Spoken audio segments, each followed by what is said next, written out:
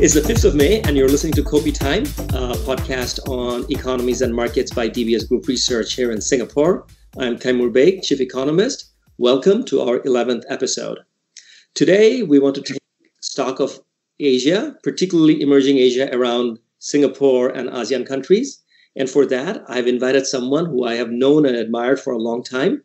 Manu Bhaskaran is a leading Asian economist based in Singapore with more than 30 years of experience in studying economic, political, and security issues that shape the business environment in this part of the world. He coordinates the Asian business of Washington, D.C. based strategic advisory firm Centennial Group. He works extensively with investment institutions, government agencies, and corporations. Manu was recently appointed as a member of the Regional Advisory Group for Asia Pacific of the International Monetary Fund. He's also an adjunct senior research fellow at the Institute of Policy Studies. Manu, great to have you on Kopi Time. Thank you, Taimur. Thank you for the kind introduction. Pleasure, pleasure. Uh, Manu, let's start with Singapore. Uh, we have all seen in the latest data and from forecast of the private and the official sector the unprecedented headwinds facing the economy. Yeah. We've also seen unprecedented policy measures. So yes. please walk us through your assessment as well as prognosis. Essentially, Singapore is a global business hub, and our role in life is to manage flows flows of goods, of services, of capital, of people. And all these flows have been disrupted as a result of uh, the spread of the disease and all the responses in terms of public health measures to contain the disease. So uh, clearly, our forward um, facing, outward facing economy suffers inevitably as a result. In addition, of course, we've got our own public health uh, crisis, which we have had to manage unfortunately, with a fairly severe lockdown. And that has crimped uh, domestic activities as well. So wherever you look, uh, whether it is domestic, whether it is uh, our global hub, whether it is construction, the economy is taking a very severe hit, as we saw with the retail sales figures that came out for March, which are down about 13%, but certainly April is going to show an even more uh, drastic reduction. So it is the nature of our economy all the engines of growth are affected, and we should get ready for a very severe downturn, probably low double digit figure contraction in GDP in the second quarter before we see some steadying perhaps in the third quarter and fourth quarters. Manu, the uh, damage, of course, is uh, clear. Uh, if you lock an economy down, the term for that in Singapore is a circuit breaker uh, of course, a lot of activities get suspended. do you feel that between manufacturing and services, which one will get the biggest hit in the near term, and which one also has the chance to come back relatively quickly? Yeah, very interesting question. I think clearly um, services activities of all kinds are going to take a big hit because they involve a lot of face to face, consumer facing uh, interactions among people, right? So clearly, our tourist-related uh, services have been walloped: uh, accommodation, food, beverage, uh, recreation, and so on. Um, of course, within that, financial services uh, could be uh, less affected, but uh, a lot of that is dominated by bank lending and related activities, which are clearly going to take a hit as well. So I think services will take proportionately a greater hit than manufacturing. Uh, some of the data in manufacturing was pointing to some degree of resilience in um, our manufacturing, primarily because of the biomedical side, but I'm not confident that that can be maintained. But nevertheless, I, I think the trend is clear. Services will probably do worse than uh, manufacturing.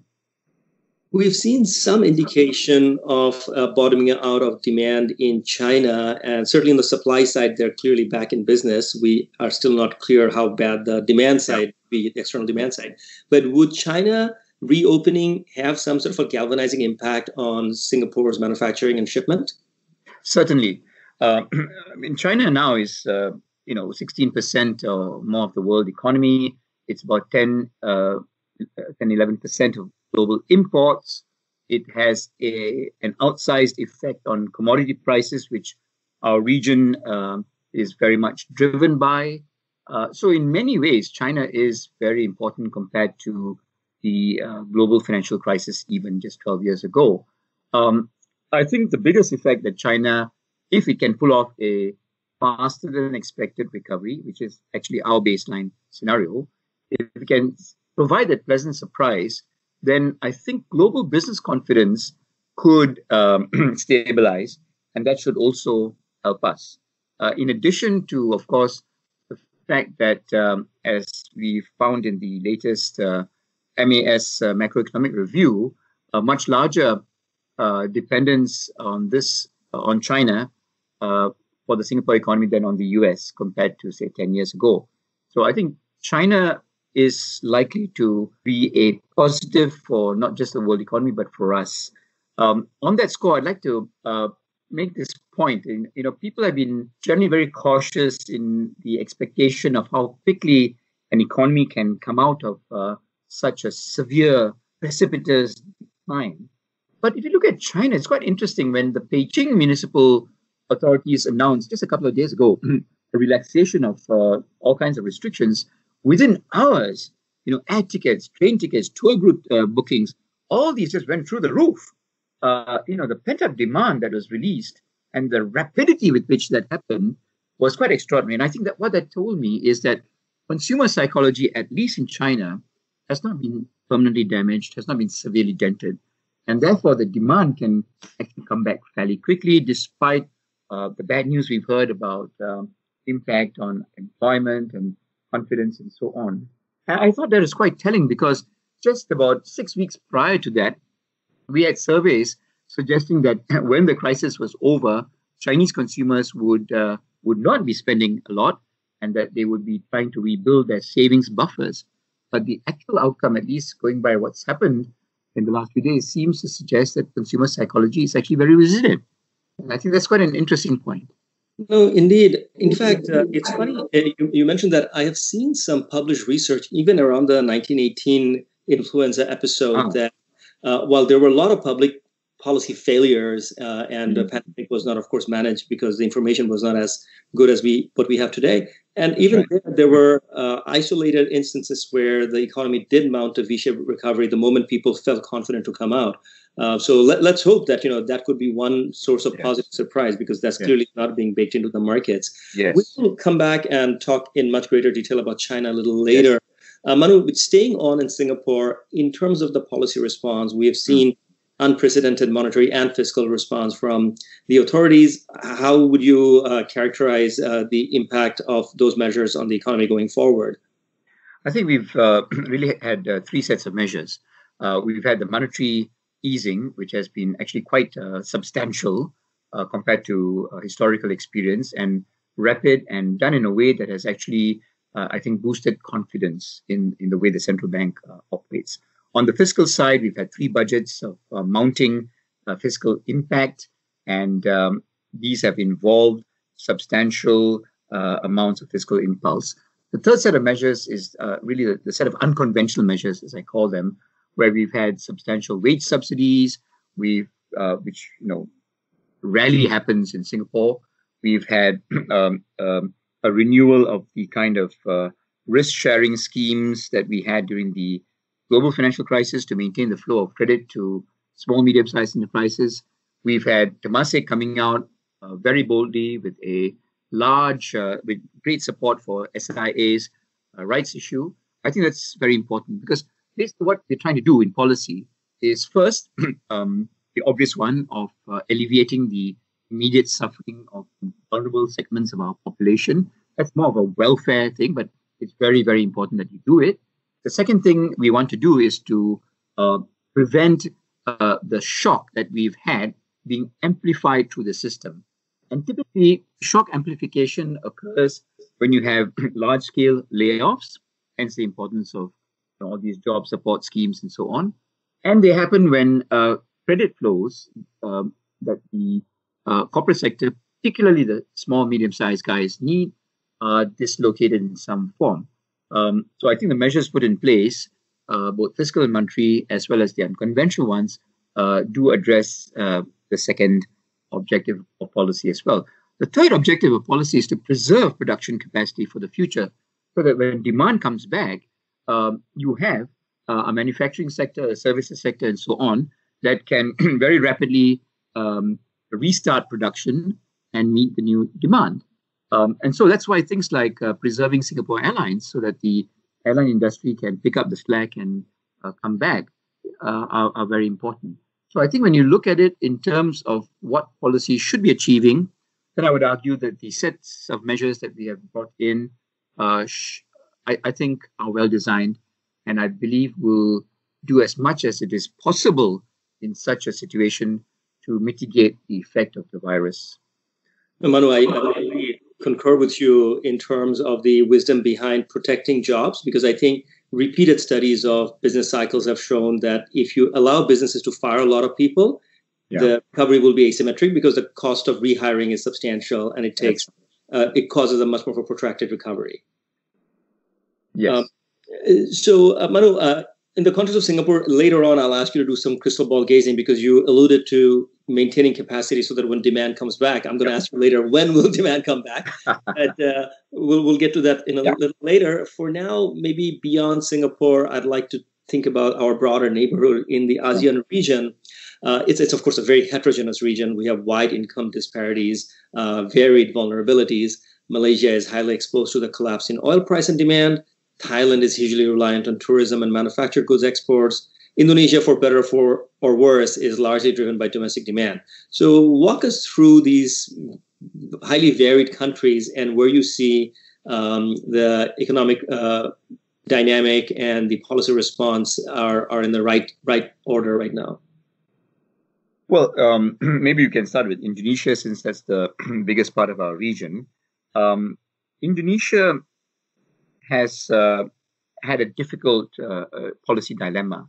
It does not have uh, the kind of social safety nets that would allow um, the vulnerable segments of the population to uh, absorb the big shock of a sudden lockdown. So the government, um, uh, you know, for understandable reasons, was hesitant to impose the kind of lockdown, stringent restrictions on social mingling that were needed to control the virus um, but over time, and uh, not just the central government, but the uh, provincial governments have sort of put in place a uh, large number of lockdowns. And so domestic activities will inevitably slow. We saw a bit of that already evident in the GDP data that came out uh, today. Uh, so clearly, March was already showing damage from these measures. Uh, clearly, the second quarter is going to be a lot worse. Having said that, both in India and Indonesia, it does look like the spread of the infection has not been as severe as many people had expected. we don't know the reason for this, and there may well be a future acceleration in the infection rate. But as of now, and this is not just based on uh, official data, which some people uh, tend to uh, underplay, it's even based on independent uh, research into burials and cremations and the like. And it does look as if the spread of the virus is not as dislocating in terms of the public health impact uh, in Indonesia as one had feared. Um, so, in a way, Indonesia might be lucky for whatever reasons. There are various hypotheses for this. It could be the, the type of BCG vaccine used in, in Indonesia to combat uh, tuberculosis, um, or it could be uh, the demographics. We don't know. But the fact is that the infection is not um, uh, deteriorating as uh, worrisomely as we had feared. So I think Indonesia can probably, with a bit of luck, still eke out a small amount of growth uh, year on year for the whole year, uh, but it will be minuscule, I suspect.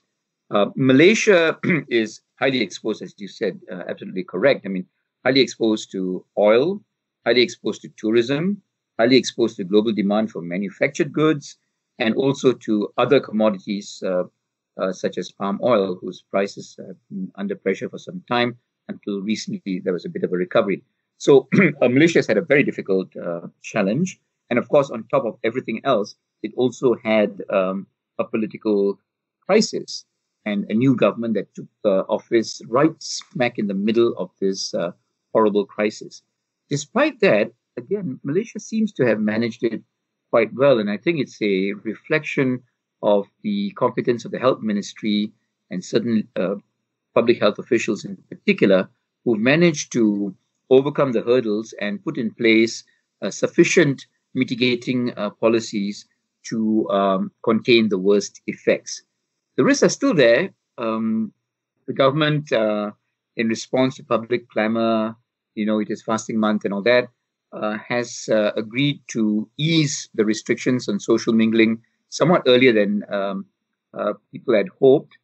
Um, and that is raising some fears of a second wave of infections. But so far, I think Malaysia has done as much as it could. Its policy response has also been very, very sizable, uh, involving not just uh, fiscal, but also a lot of unconventional uh, policies. And um, so I think Malaysia, because it is so exposed to unfortunately the wrong things, clearly is going to contract uh, this year. Probably not as bad as uh, Singapore, Hong Kong, and probably better than uh, Thailand, but it will see a contraction this year before rebounding next year. Thailand has been very unlucky. it has been hit hard by this COVID 19 crisis which has affected global demand, but it has also eviscerated tourism. And tourism is, you know, in value added terms, probably 11, 12% of uh, Thai GDP. And unfortunately, a lot of that tourism is from China, which has disappeared almost completely. So it's been extremely difficult uh, COVID crisis for Thailand, proportionately compared to other countries. But on top of that, Thailand also has um, has had to endure the worst drought in, in 60 years. And that is also a big problem for a country that has a, a large um, agricultural export sector and where uh, a significant part of manufacturing capacity is actually for food processing, agricultural processing. So that is another hit. And the third issue is that while the um, government has come out with, I think, a very well designed, very well uh, planned uh, fiscal stimulus, uh, somehow the disbursement uh, rate, the implementation rate of those uh, initiatives has been uh, a bit slower than we had hoped for. So, putting it all together, I think Thailand probably will see a fairly severe contraction, perhaps even as bad as 7% uh, for the year as a whole. Yeah, that's actually exactly in line with uh, what our forecasts uh, have. there you are. Great minds. Indeed. Uh, Manu, on Malaysia, just a follow up issue. The fiscal authorities, almost 20% of their revenues uh, are directly linked to oil and gas related activities, the dividends from the large uh, state owned enterprises, and so on. And that, of course, will be affected deeply this year. But counter that with the point that you made that they have actually had a very generous I, I, would say by all measures, probably the most generous uh, fiscal package that we have seen in the region when you add up all the on balance and off balance sheet yeah. stimulus measures. Doesn't this raise a substantial risk of, uh, with respect to Malaysia's sovereign debt? I mean, clearly the public debt to GDP ratio, which has a ceiling of 55% mandated, um, they will probably have to go to parliament and, and um, ask for some forbearance on that. Um, I think, you know, obviously something has to give in a crisis like this. And the least bad option, I think, is to allow the public sector debt um, to, to, to rise. And even if it goes to, say, 60%, uh, let's face it, I mean, that is still hugely better than most uh, developed countries. And um, uh, I mean, to be fair to Malaysia, if you look at its uh, fiscal management since the mid 1990s, it has been actually very, very good. Um, I think it also suggests that, um, if I may say so, I think it probably was uh, with the benefit of some hindsight, it probably was a, a misjudgment to have abolished uh, the GST completely in uh, 2018 when the new government uh, took over.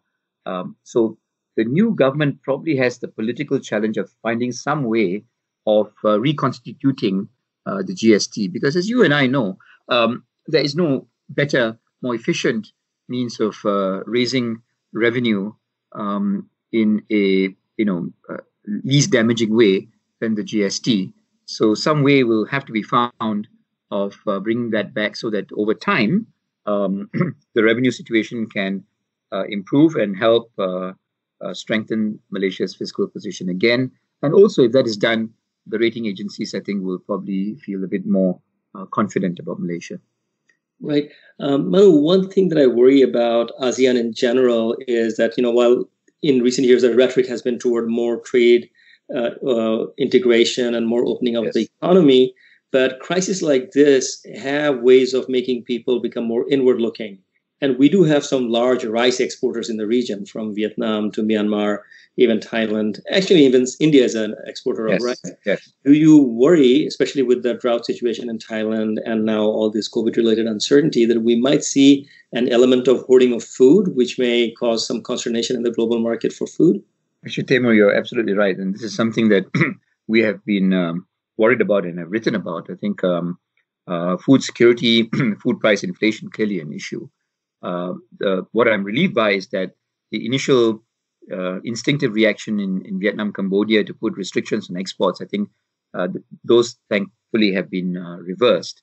Um, so I hope that uh, um, the good old ASEAN solidarity thing has prevailed and the rice exporting nations have realized that um, it is far better from a longer term perspective to try and work together uh, rather than impose, um, um, you know, uh, individual responses like the uh, export restriction. So I am a bit concerned about that, but uh, hopefully uh, the worst of that particular concern has uh, has passed. There's a, yeah, lot. Sure. there's a lot of lament about lack of global leadership in terms of coordination between nations in dealing with this crisis. What uh, are we seeing among ASEAN leaders? Are they talking regularly? Are they coordinating a little bit? Well, uh, to be honest, um, I have not been holding my breath exactly to see a you know robust uh, ASEAN-wide uh, response. Uh, I'm sure, in fact, they, I, mean, it, has been reported that the leaders have had uh, online discussions and so on. Um, but you know, ASEAN is by its nature, a consensus uh, based uh, uh, 10 nation body. it's not the European Union, which has progressed much further um, in terms of, you know, fairly rigorous forms of integration. So um, I, I think, you know, it's probably asking too much of the kind of ASEAN structure that we have today to expect um, an EU kind of uh, response. And you know, even the EU has uh, frankly struggled in, in responding, right? So um, uh, unfortunately, it you know, in terms of policy response, you know, 99% of it has to come from the individual countries. Um, I wish that ASEAN was stronger, but the reality is that it is not. And so it is really up to the individual countries to to do something about that. But I do hope that this crisis in combination with the um, you know unfortunate trends in, uh, in in world trade and so on, will persuade ASEAN countries that uh, they really have to move much faster on ASEAN integration, even if it means pooling sovereignty to a larger extent than they have been willing to do in the past. These, uh, Manu, in terms of pooling um, resources beyond sovereignty, one hope was that the legacy of 97 crisis as well as the 2007-8 crisis would be a uh, emboldened Chiang Mai plus three initiative yes. which ASEAN countries will be able to take care of their external funding needs by tapping to their own reserve pool. Yes. What happened to that? Well, um, you know, the Chiang Mai initiative has been multilateralized. It has been expanded.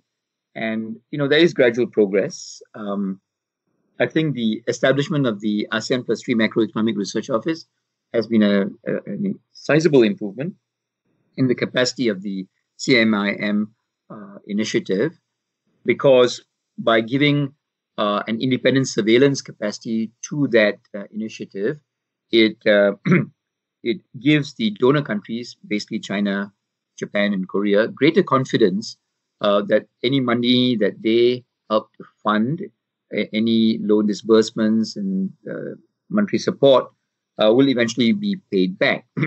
um, I think late last year, there was a further expansion of the surveillance capacity, and I understand that the large donor countries were very happy with that, and that makes for an initiative that will work better. So I suspect that uh, compared to 2008, 2009, when countries in the region hesitated uh, about uh, you know resorting to the CMI initiative.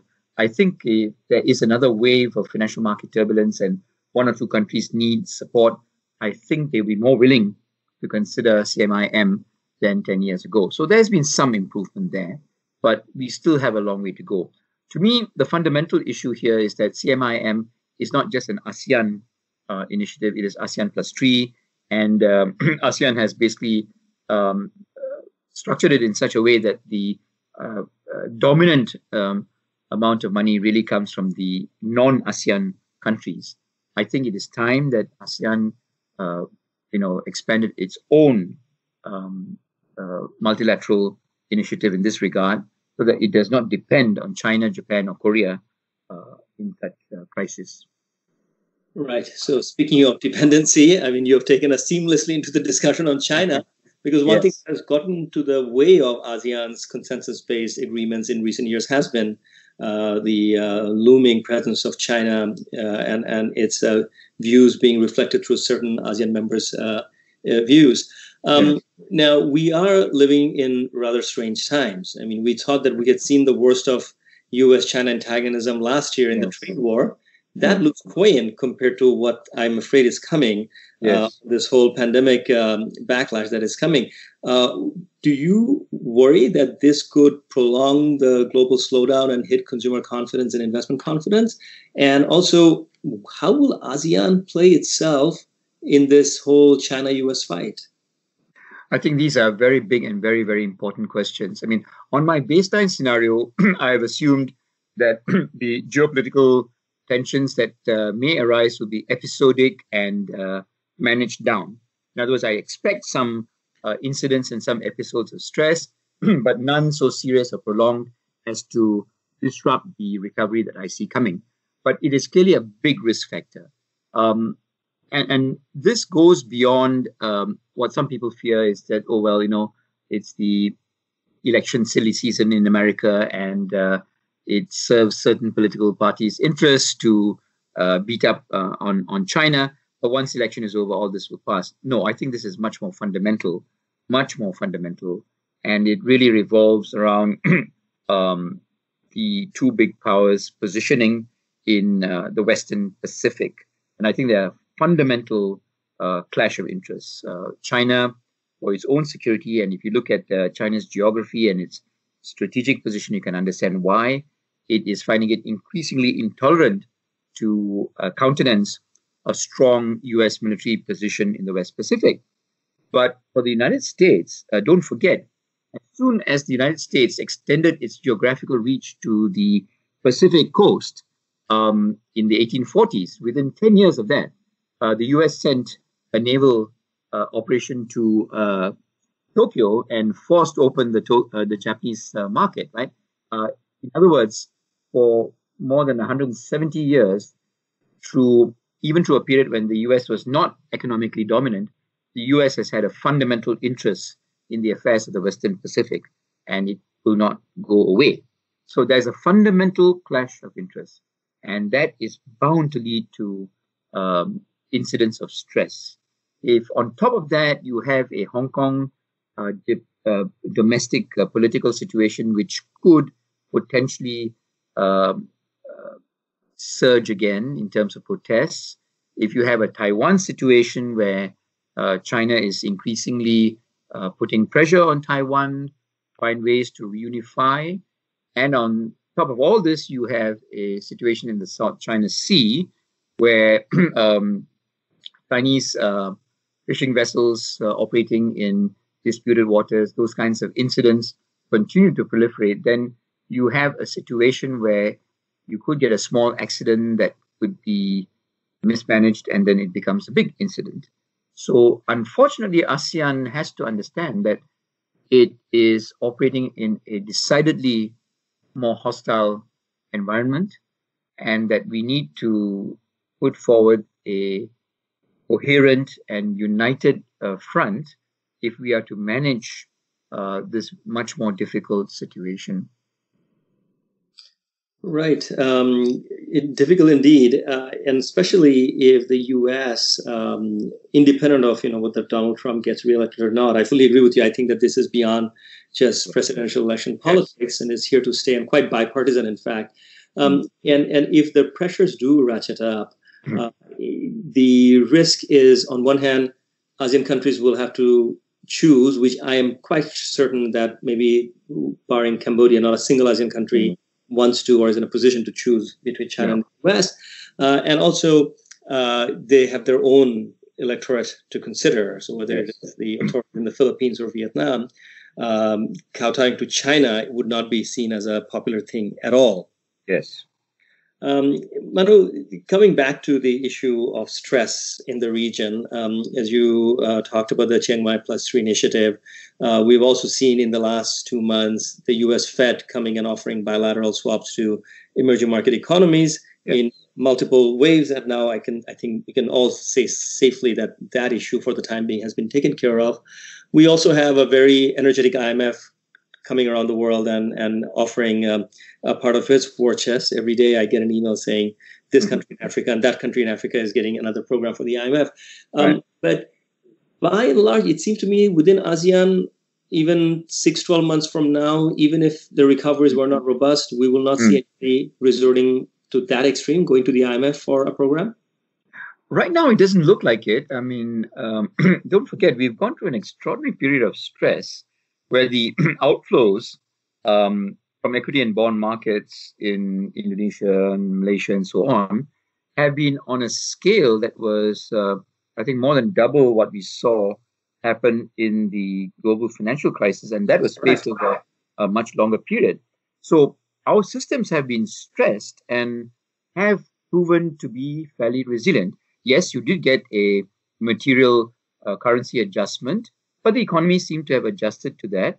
You don't see a loss of confidence. You don't see people panicking and moving money out of local banks foreign banks and out of any bank in the country to a, a, a, you know Hong Kong or Singapore.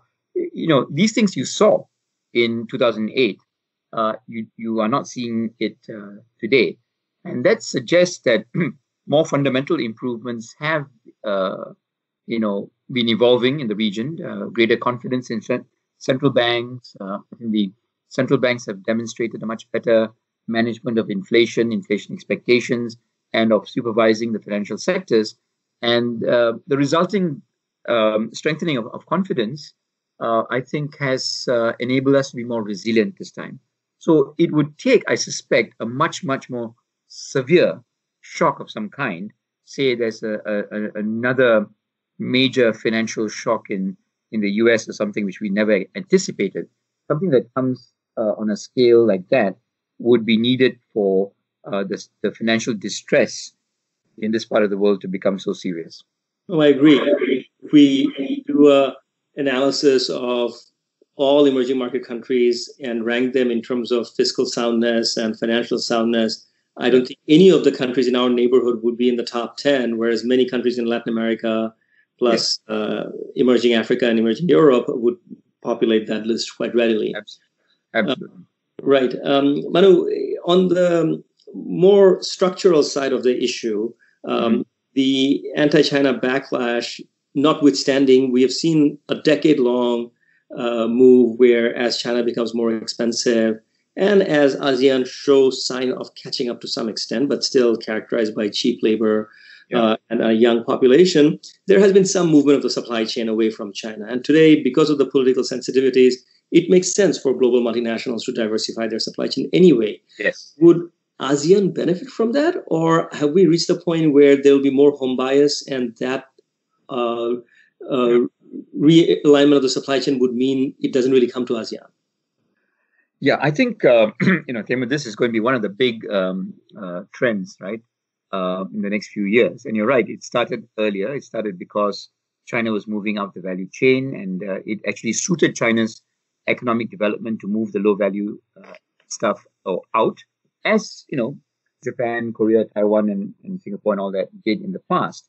Then the second wave was caused by the rise in protectionism, uh, which I think spurred that uh, relocation even more. And now you have this big shock, right? And I think it's going to be quite complex. It already was complex to begin with because what you were seeing, even the first two phases of uh, reconfiguring supply chains, was uh, first some of the the activities were uh, being reshored already, right?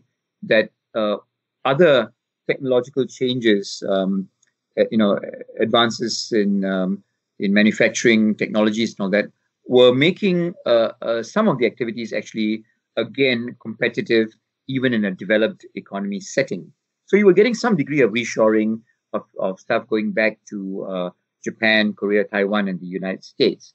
Um, I think that reshoring might accelerate somewhat because I think in areas like antibiotics and ventilators and you know biomedical equipment of that kind, I think there's a greater uh, sense that um, there has to be a much higher degree of self-sufficiency for public health uh, reasons. So I think in those areas you could see more reshoring rather than continued outsourcing to a cheaper location. Um, you also saw a lot of nearshoring. Right? In other words, um, where, where stuff had to move out of China, the multinational company decided that it would be better to move um, the production to a developing country that bordered or was very closely, geographically close to the developed market. So this benefited Mexico and Turkey and uh, Central Eastern Europe rather than Southeast Asia. It was quite small, but you did see that dimension of this reconfiguration. And the rest of it was outsourcing.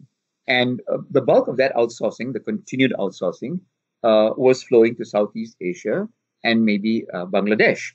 Uh, not so much to Indonesia and India, but uh, certainly Vietnam, Cambodia, Bangladesh, Thailand, and, and Malaysia benefited significantly. Um, I think as we get into this new phase, once we recover and once we reach a new norm, new steady state in the world economy, I suspect we will continue to see, um, in fact, uh, we will see a faster pace of uh, reconfiguring supply chains. And I think in many cases, it will still make sense for that relocation to move to countries like Vietnam, like Thailand, like Malaysia. Right, indeed. Uh, but uh, in in terms of the immediate uh, aftermath of the COVID nineteen, um, do you see? And, and this sort of takes me back to your earlier point about the need to maintain capacity so that when demand comes back, you can be ready to take advantage of that. Yes. Um, will the demand come back in the next six to twelve months if we are going to run on fifty percent capacity in restaurants? Yeah, so you know, this is the complex question, right? Um, you know, one part of me says that we shouldn't be too uh, pessimistic. I think there will be there'll be many sectors, different sectors, and the experiences in these sectors will differ. If you're talking about air travel, if you're talking about restaurants, you know, food and beverage related stuff, you're talking about mass recreational events, big sporting events, big concerts, for sure. you know, social distancing will have to be maintained. And even I can tell you that even if the governments uh, uh, do not impose regulations, I think people on their own volition will be much more careful. So those sectors uh, clearly will take a much longer time before they reach the pre-crisis level of activity. Uh, but even there, you know, this is human nature. People like to travel. People like to congregate. Um, ways will be found to achieve the public health uh, um, conditions uh, while allowing people to go back to their normal activities. I think um, you know we should not underestimate this human desire to to have a normal activity, to have a normal life, to engage with people, and so on. Uh, but yes, I, I, I definitely concede it's going to take longer in those particular sectors. There will be other sectors where the um, disruption of demand will be quite short-lived. Uh, so my sense is that as long as production capacity is preserved, as long as the basic demand drivers, i.e., jobs, incomes, and uh, continued fiscal support are there, then I think typically, uh, you know, overall, I think consumer demand and investment demand can eventually come back, and that um, you know the, the in other words, I don't see reasons to believe that the there would be a permanent damage to um, demand, uh, what the economist calls the 90% economy. I think that's probably a little bit too pessimistic a read on what to expect. Certainly, in the initial recovery from the COVID crisis, the first two to three quarters, yes, I think it will be a 90% economy. But beyond that, do not underestimate uh, what can be done in terms of policy, in terms of public health um, uh, progress, and so on, to return us to a 100% economy. Indeed. And I think that the the proponents of the dire scenario, I think, have a very Western centric perspective, which is that the Western yes. world is so saddled with debt that yes. this is going to make a debt situation which was bad much yes. worse, and therefore many years will go by just through the deleveraging process. Uh, exactly. Uh, thankfully, as a large surplus region, ASEAN does not have to go through you know painful deleveraging. That was done 20 years ago. That's right. We're learned uh, to a large extent. Manu, uh, this probably is as optimistic a note we can probably conclude our discussion. Uh, thank you very much for your time. Thank you. Thank you. It's, it's been great to have you here, and thanks to you, our listeners, for your time as well. You can find all our publications and multimedia by Googling DBS Research Library. Bye bye.